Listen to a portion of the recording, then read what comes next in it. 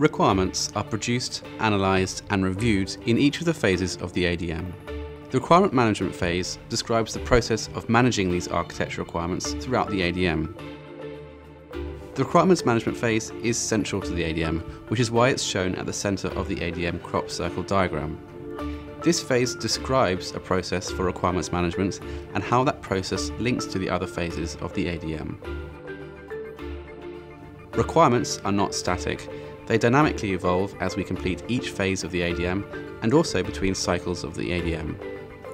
Requirements for enterprise architecture and subsequent changes to those requirements are identified, stored and fed into and out of the relevant ADM phases, and also between cycles of the ADM.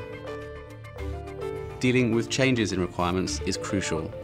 Architecture deals with uncertainty and change, the grey area between what stakeholders expect and what is possible. Architecture requirements are therefore invariably subject to change. Moreover, architecture deals with many drivers and constraints which are beyond the control of the enterprise, such as changing market conditions or new legislation, which can produce changes in requirements in an unforeseen manner.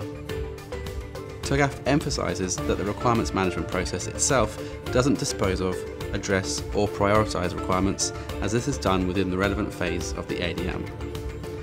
The requirements management phase is merely the process for managing requirements throughout the overall ADM.